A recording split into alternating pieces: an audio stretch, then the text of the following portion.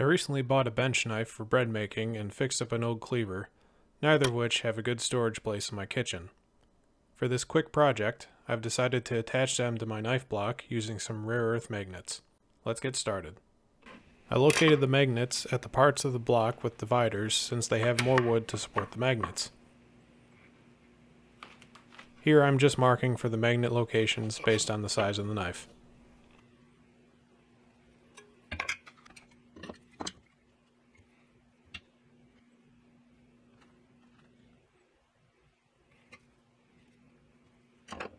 These magnets happen to fit perfectly in a hole made by my half-inch Forstner bit, which I know from previous projects.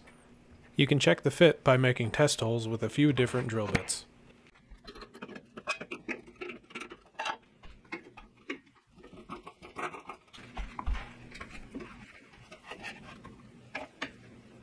I set the drilling depth of the bit so that the magnet will be flush with the outer face of the knife block.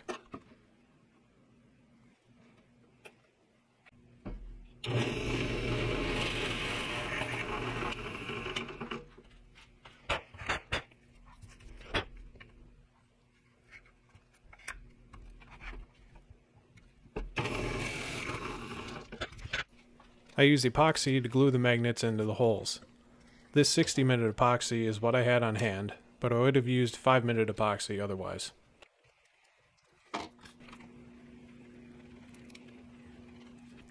To give the epoxy more to grip, I roughed the magnets with some 240 grit sandpaper.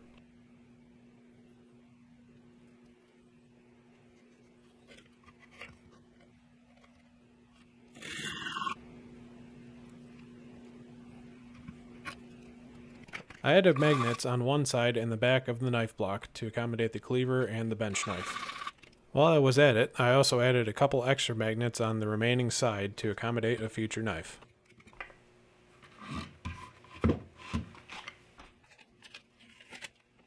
After letting the epoxy cure, I put all the knives back into the block. As you can see, the magnets are strong enough to hold the knives in place very well, yet are weak enough that the knives can easily be removed for use.